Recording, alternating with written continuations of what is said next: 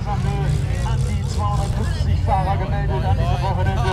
Und da gibt es auch gleich die erste Karambolage dort hinten in der Schikane. Drei Fahrzeuge scheinen zu stehen. Die rote Lange geht da scheinbar raus. Oder was ist da los? Ja, der Strecke Drosten.